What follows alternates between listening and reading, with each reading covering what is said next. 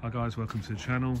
Today I'm going to show you where the cigarette lighter fuse, 12 volt socket fuse is on a VW Crafter and Mercedes Sprinter.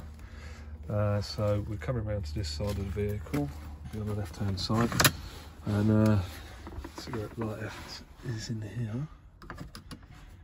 As you can see we've got no power there at all. Test light isn't lighting up.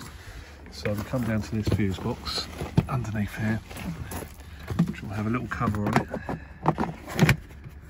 Like that.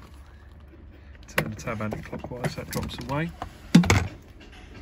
You come underneath here and you're looking at the top fuse box guys. Up here. And we're looking at fuse number 13 15 amp. That fuse there. So we'll take that out.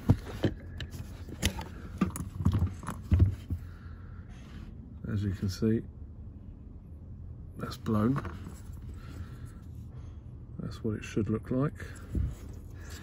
So we'll pop that fuse in.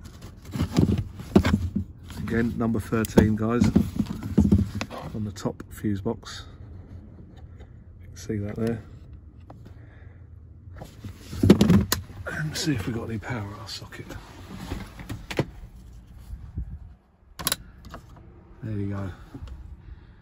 Test light lights up. Okay guys, hope that helps some of you. I'll see you in the next video.